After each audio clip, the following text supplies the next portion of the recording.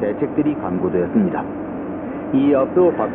鮮労働党委員長で、朝鮮民主主義人民共和国国務委員会委員長、朝鮮人民軍最高司令官の敬愛する最高指導者、金正恩元帥が、自力構成の革命精神を高く発揮して、党から与えられた新型トラクターの生産課題を立派に達成した、この間トラクター工場を現地指導しました。金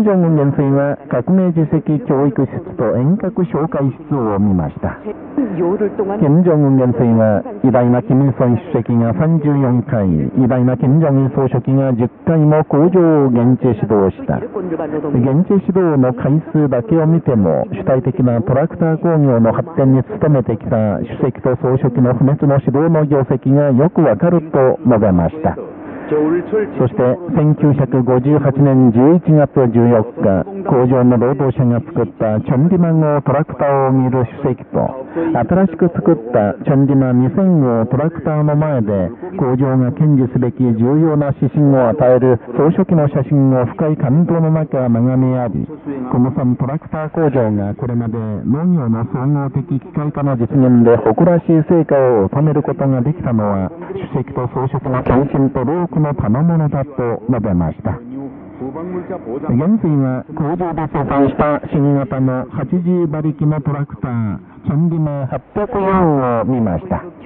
そして青色でさっぱりと塗装した数百台の新型の80馬力のトラクターが立ち並んでいるのを明るい闇の中眺めて本当に見守のだ大きな成果を収めた苦労が多かったと重ねて評価しました。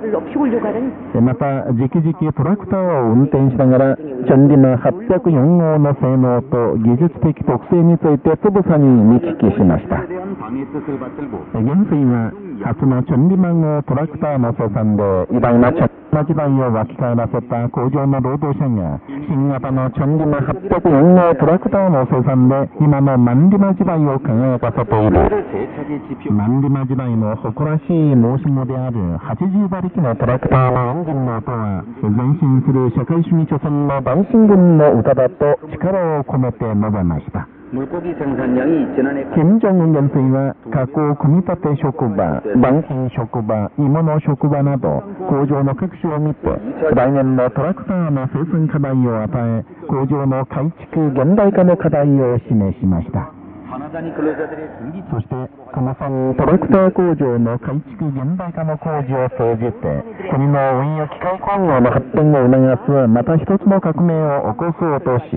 工場の改築に必要な重要措置を取り人民軍の強力な建設部隊を派遣すると述べました。金正恩元帥は仕事で模範を示した工場の労働者と共に記念写真を撮りました。朝鮮労働党中央委員会政治局常務委員会委員で、朝鮮民主主義人民共和国国務委員会副委員長のパク・ポンジュ内閣総理と、朝鮮労働党中央委員会オースヨン副委員長、朝鮮労働党中央委員会張ヨン副部長が同行しました。偉大な金正日総書記をしぶ委員会が8日、ロシア朝鮮民主主義人民共和国との連帯グループで発足しました。委員会は11月8日から12月17日まで総書記をしのぶ機関とし総書記の尊い生涯と不滅の業績を紹介し政治文化の催しを行うことにしました。敬愛する最高指導者金正恩元帥の普及の著作全世界のキム・ソン・金正恩主義家の旗印のもとに女性同盟の活動をさらに強化しよう発表。1周年記念研究討論会が15日、平壌の女性会館で開かれました。朝鮮労働党中央委員会、チェンシー副委員長と女性同盟の活動家、同盟員が討論会に出席しました。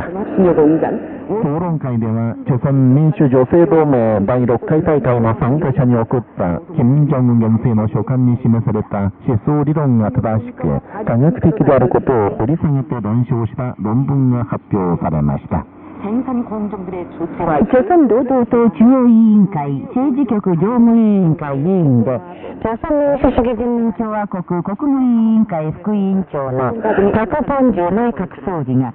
キム・ジュンテ電気機関車連合企業所の実態を現地で把握しました。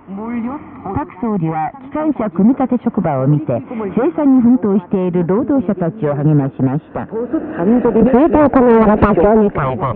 地下鉄や台車の整備と修理貯村式の地下鉄用電車の生産での諸対策が講じられました。これに先立って各総理は平壌軍チョンチョン共同農場ポン軍新バト共同農場など、関ャ南道の農業の実態を具体的に把握した上で、道内の農業生産を増やすためのことを協議しました。敬愛する最高指導者、金正恩元帥の普及の著作、全世界の金日成、金正恩主義家の旗印のもとに、女性同盟の活動をさらに強化しよう発表、1周年記念、女性同盟活動の成果の展示会と、女性同盟活動家の経験発表会が、15日、平安の女性会館で開かれました。展示会には、朝鮮民主女性同盟第6回大会の参加者に送った、金正恩元帥の歴史的な書簡に示された課題を実行するため、女性同盟中央委員会と各同委員会がこの1年間、同盟の建設と活動に励んで収めた成果を見せる160種、770点の展示物や動画などが出品されました。経験発表会では、金正恩元帥の普及の著作に示された重要課題を実行するために、女性同盟の各組織を一枚岩の団結を誇る単語に築く過程に得た経験が発表されました。共和国の東海地区水産事業所が集中的な漁業産業で成果を上げています。新法遠洋水産連合企業所と、ウン水産事業所、キム水産事業業など水産省管轄の水産事業所では衛星情報による水温伝送システムと漁場探索支援システムなど漁労に役立つプログラムを漁船に導入して活用しています。東海地区の水産事業所では漁船の稼働率を最大に高め網の引き上げ回数を増やして、市に数十、数百トンの魚を取っています。また、出港した大型加工船では、取った魚を素早く加工しています。ソホ、ウンサン、ドンチョンなど、各地域の港では、陸揚げした魚を適時に処理しています。全国食品工業部門の科学技術発表会が、著産科学技術総連盟中央委員会の主催により、14日と15日、ハンドクス平壌軽工業総合大学で行われました。食品文化と発酵文化に分けて行われた発表会には、食品商品研究員、韓国ス平壌軽工業総合大学、テドンガン食品工場など、各所の教員、研究者、労働者が参加しました。15日の閉会式では、価値ある論文を出した参加者に証書が授けられ、表彰がありました。また、第7回全国酒及び味噌醤油展示会が14日、平壌の食料日用工業省の一般消費財展示場で開かれました。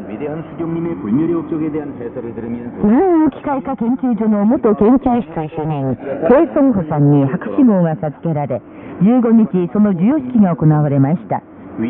ョン・グアンホ内閣副総理と農業機械部門の科学者、学位学食の所有者が授与式に参加しました。授与式では国家学位学食授与委員会の決定が読み上げられた後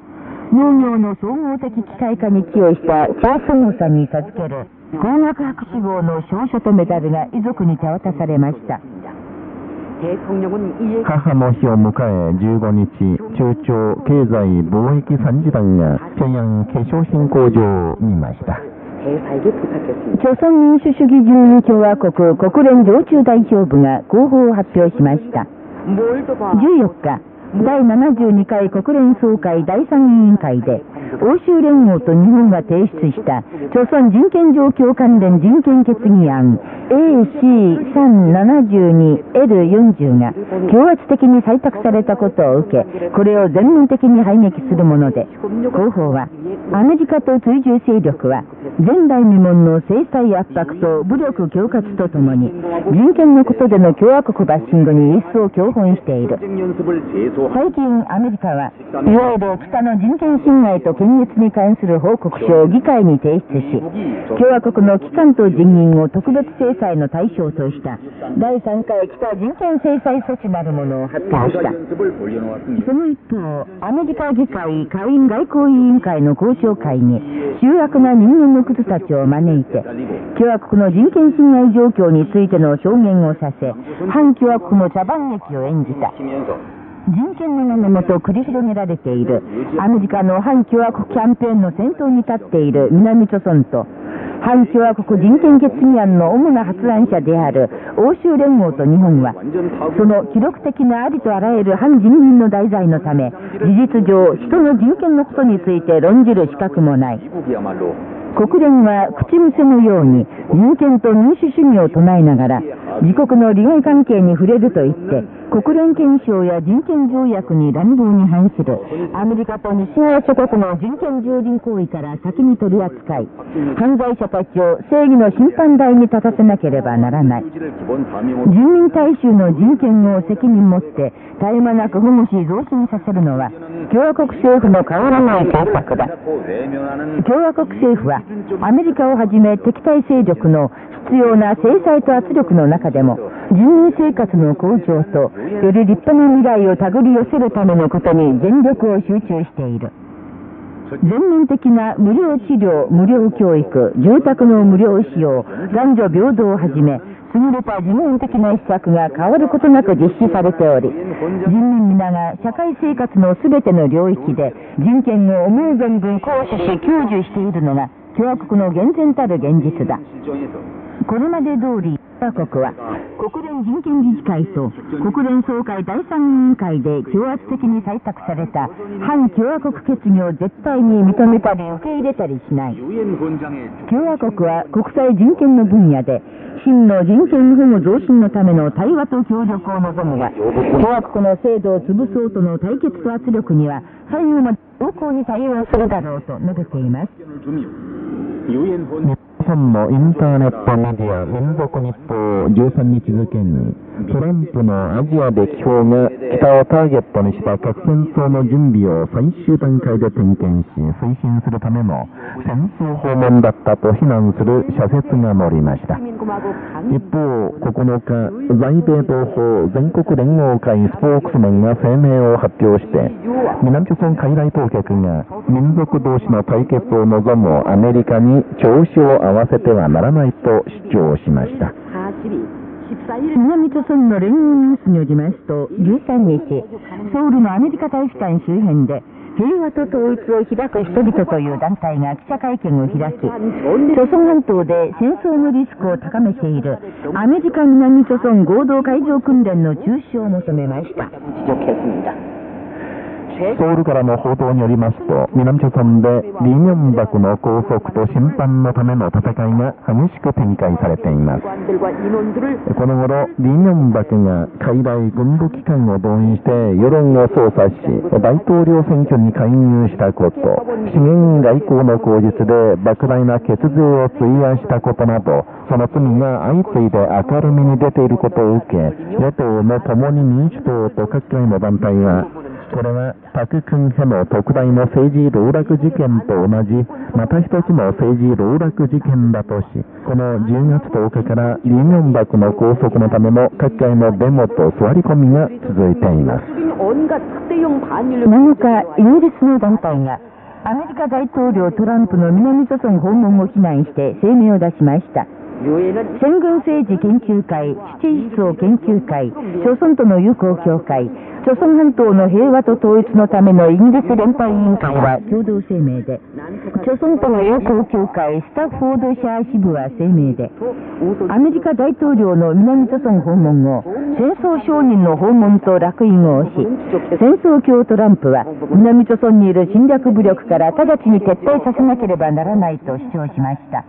今後民主共和国知的思想研究全国委員会のホームページに、11月16日の朝鮮の母の日に際して、社会主義朝鮮の母親たちと談した文を述び、幸せな朝鮮の女性たちを紹介しています。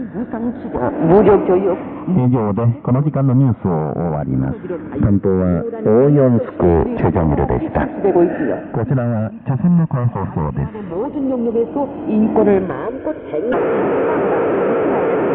歌、母親への思いについてお話ししましょう。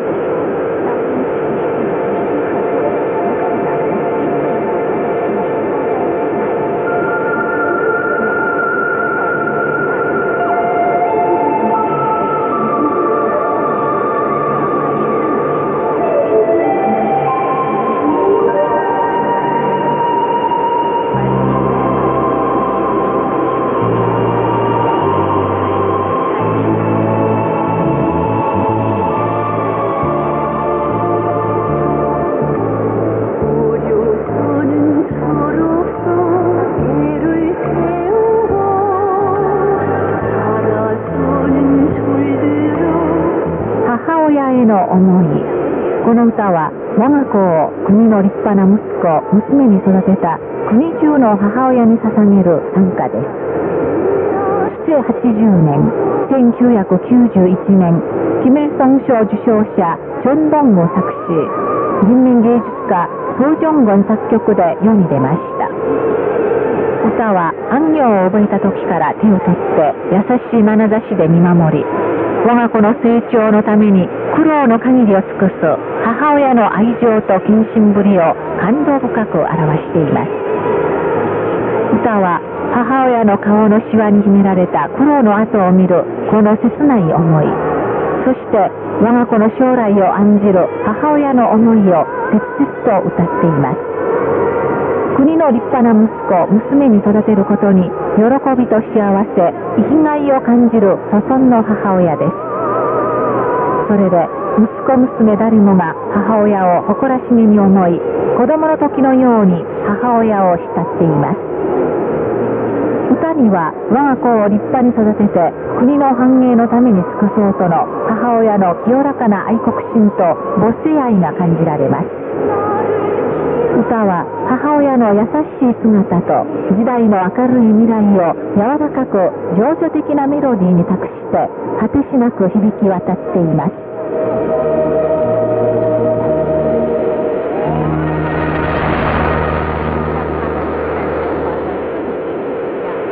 歌母親への思いについてお話ししました。